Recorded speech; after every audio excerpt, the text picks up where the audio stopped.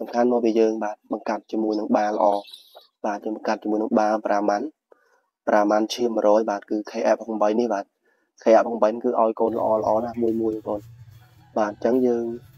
បាទចូលរួមបាទកែលម្អពូជគោយើងបាទដើម្បីបាទយើងឈានទៅដល់បាទពូជគោដែលល្អបាទចិញ្ចឹមទៅគឺឆាប់ធំបាទបាទជំរាបសួរបងប្អូនទាំងអស់គ្នាបាទអញ្ចឹងថ្ងៃហ្នឹងគឺយើងមានវីដេអូថ្មីមួយទៀតបងប្អូនបាទ ឥឡូវនេះគឺយើងមានកូនគោបង្កាត់ស្ប៉ានិមិត្តមួយទៀតបាទគឺកូន KF68 បាទអញ្ចឹងចង់ដឹងថាតើកូន KF68 បង្កាត់ជាមួយនឹងមេគោខ្មែរយើងវាឲ្យកូនល្អប៉ុណ្ណាបងប្អូនយើងធ្វើស្នែងកុំឲ្យកូនគោនឹងដោះបាទ free ជូនម្ចាស់គោបាទគឺយើង free តែម្ដងអញ្ចឹងបងប្អូនដែលត្រូវការថ្នាំធ្វើស្នែងបាទកុំភ្លេចបាទគឺអាចចាក់តងមកតាមលេខទូរស័ព្ទឬក៏ឆាតចូល page បាទតោះឥឡូវយើងកុំឲ្យខាត់ពេលយើងទៅមើលកូនកូនរបស់គ្នាបាទនោះកូនគោបងប្អូនកូនគោនៅខាងនោះបាទកូនគោនេះ យើងបានមកជួបផ្ទាល់មួយទៀតបងប្អូនបាទគឺកូនបាទ KF 68បាទបាទឥឡូវយើងមកប្រឌិតមើលរូបភាពបាទកូននៅបានច្បាស់តិចបងប្អូនអូមេកាចមែនតើយើងនឹងអាចចូលចិត្តបានបានទេបងប្អូនបាទតែមេនេះគឺកាចមែនតើឥឡូវយើងជំមើព្យាយាមចូលទៅចិត្តកូនតិចបាទសំខាន់គឺបានញីទៀតបាទកូនវាអីចាញ់មកក្រៅបងបាទនេះ មើលបាទអូមេកាចរងមេនេះបាទកូន KF68 នេះក៏មិនចាញ់បាទកូន V8 មកណាបងបាទនេះព្រោះរៀងវាបាទសំខាន់វាឈរឲ្យស្អាតមែនតើហ្មងយើងគ្រាន់តែយកអី SS វាគឺវាចេញរៀងឲ្យមកខ្ទេតហ្មងបងមេនេះគឺកាចណា បាទសំខាន់នេះបងប្អូនមើលបួវាបួជាមួយទម្រង់ស្លឹកកជាវាហើយបោកផ្លែបោកស្អាតមែនតើស្អាតបាទអញ្ចឹងមានបានពូជមួយទៀតបងប្អូនបាទយើងប្រកាសអឺបានសិតតែកូនញីតែម្ដងបងប្អូនកូនញីច្រើន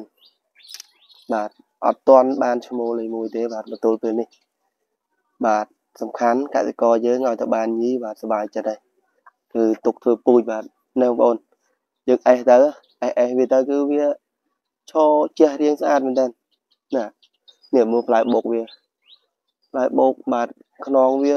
រៀងអែនតំណងមែនតើបាទគឺជះរៀងស្អាតណា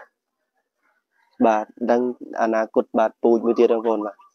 ជំនាន់ទី1បាទមេវានេះមេរៀងចាស់ដែរហើយ បាទរៀងចាស់ដែរមេប្រហែលកូន4 5ហ្នឹងបងប្អូនប្រហែល5 30ហ្នឹងហើយតែកូននៅតែល្អបាទសំខាន់មកពីយើង បាទបង្កាត់ជាមួយនឹងបាល្អបាទយើងបង្កាត់ជាមួយនឹងបា5ម៉ាន់5ម៉ាន់ឈាម100បាទគឺ KF 8នេះបាទ KF 8គឺឲ្យកូនល្អល្អណាស់មួយមួយបងប្អូនបាទអញ្ចឹងយើង បាទចូលរួមបាទកែលម្អពូជគោយើងបាទដើម្បីបាទយើងឈានទៅដល់បាទពូជគោដែលល្អ បាទចិញ្ចឹមទៅ គឺឆាប់ធំបាទយើងបាទព្យាយាម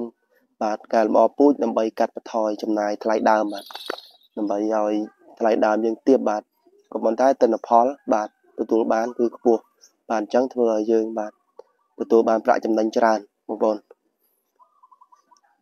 បាទអញ្ចឹងកូនគោប្រាម៉ាន់នេះបាទបងប្អូនតែយើងធ្លាប់បាទឃើញវីដេអូខ្ញុំផលិតមកច្រើនហើយបាទគឺយើងមកកាត់ជាមួយនឹងមេគោខ្មែរយើង បាទមេគោខ្មែរយើងធម្មតាធម្មតាហ្នឹងវាឲ្យកូនល្អបាទលូតលាស់វិញគឺលឿនបងប្អូនបាទបើយើងឲ្យស៊ីដូចគ្នាក៏នៅតែវាធំបាទលូតលាស់លឿនបាទនេះឥឡូវវាចេញមកក្រៅយើងនឹងព្យាយាមបាទអូសំខាន់មេនេះគឺពិបាកនឹងចូលចិត្តមែនតើបងប្អូនពិបាកនឹងចូលចិត្តបាទអញ្ចឹងប្រហែលជា ឥឡូវនេះគោនេះតែអាយុមួយសប្តាហ៍ដែរទេបងប្អូនបាទបាទអញ្ចឹងនៅពេលដែលវាអាចនឹង2ខែអីខ្ញុំនឹងចុះមកម្ដងទៀតបងប្អូនចុះមកតាមដានមើលតើការលូតលាស់វា បាទល្អប៉ុណ្ណាបាទកូនគោរាម៉ាន់ចំនួនទី1បងប្អូន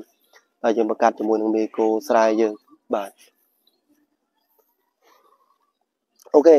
បាទគោនេះក៏ដូចគ្នាដែរបងប្អូនយើងនឹងធ្វើការបាទអឺបាទ free បាទយើងនឹងធ្វើស្នែងបាទ លាបស្នែងបាទយើងប្រើថ្នាំលាបស្នែងមកវា បាទកុំឲ្យដុះបាទហើយយើង free ជូនតែម្ដងបាទអញ្ចឹងបងប្អូនដែលត្រូវការថ្នាំធ្វើស្នែងបាទកុំភ្លេចអាចតាក់ទងមកតាមលេខទូរស័ព្ទ